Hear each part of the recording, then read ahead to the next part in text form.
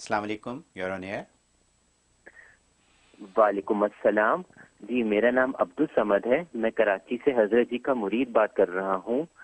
सबसे पहले तो अल्लाह ताला हज़रत जी को जजाय खैर दे। माशाल्लाह माशाल्लाह हज़रत जी का हर फ़ील्ड में दुनिया में और पॉलिटिक्स में और आखिर हर चीज़ के उसमें माशाल्लाह इतनी नॉलेज है इतनी नॉलेज है।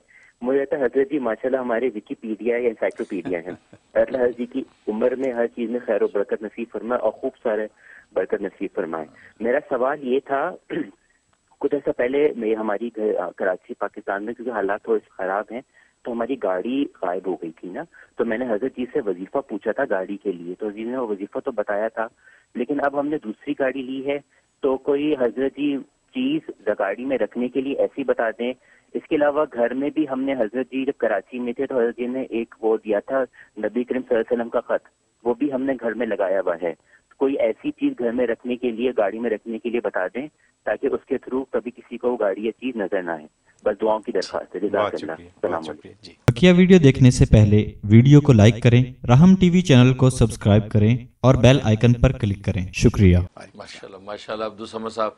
कराची, पाकिस्तान से कॉल करते हैं, हमें मसरत होती है कि वो वतन अज़ीज़ पाकिस्तान से कॉल आती है तो हमारी खुशी दोहरी हो जाती है। इसलिए उसी वतन अज़ीज़ में बैठ के हमने अपने बुज़ुर्गों की जूतों के सदक़े, इलम दीन सीखा और आज अमरीका जैसी सुपर पावर दुनिया में आके उसको हम फैला रहे हैं। हमें ये दोहरी मसरत होती है, हमारा फैज़ान अपने वतन के अंदर वापस भी पहुँच रहा है और वहाँ आप ज़्यादा फ़ायदा उठाते हैं। अल्लाह इसको कायम दायम रखे, बाकी आपके हसन जन को अल्लाह हकीकत से बदले। बाकी हमें अल्लाह तबारक वाली इस्लाम को और इलम का विकीपीडिया बना दे और अल्लाह तबारक वाली वाकई इलम की मनाजिल हमारी तय करा दे, वरना हम तो तालब इलम हैं और ये मेरे बुज़ुर्गों का सदक़ और फैज़ान है। रसूलुल्लाह सल्लल्लाहु अलैहि वसल्लम की ख़ास नज़र करम है और अल्लाह का फ़ज़ल शामिल हाल है कि अल्लाह तबारक व ताली जो है हमसे दीन का काम ले रहे हैं।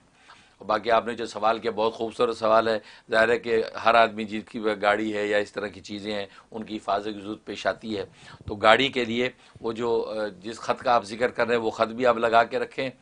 उसके अलावा आप कागज़ के चार टुकड़े ले लें, उन चार टुकड़ों पर सूरत कौसर लिखें। बिस्मिल्लाह मिला के सूरत कौसर लिख लें। कौसर लिख, गाड़ी के चारों साइडों के ऊपर वो किसी भी जगह पे उस सूरत कौसर को लगा दें। भले वो नज़र आती हो या उसको फोल्ड करके अंदर जो है, किसी रैगजीन वगैरह के अंदर उसको लगा दें तो चारों उसके साइडों के अंदर अंदर सूरत कौसर जो वो आप उसके अंदर लगा दें और वो जो ख़त है, जिसका आपने हवाला दिया है, वो नबी पाक सल्लल्लाहु अलैहि वसल्लम का ख़त भी किसी भी साइड में वो भी आप फिक्स कर दें। इन गाड़ी हो या कोई भी ऐसी चीज़ हो कि जो कीमती चीज़ जिसकी हिफाजत की ज़रूरत है, उसके चारों डायरेक्शन के अंदर सुर कौसर को इस तरीके से लगा दिया जाए या उसको फोल्ड करके उसके अंदर डाल दिया जाए। इन कभी कोई चीज़ चोरी नहीं होगी और हर तरह अल्लाह तबारक वाल की हिफाजत भी रहेगी और वो चीज़ ज़्यादा से ज़्यादा आपके लिए नाफ़े और खैर भी बनती रहेगी। इन इसके मुताबिक अमल करें फ़ायदा होगा। बहुत शुक्रिया।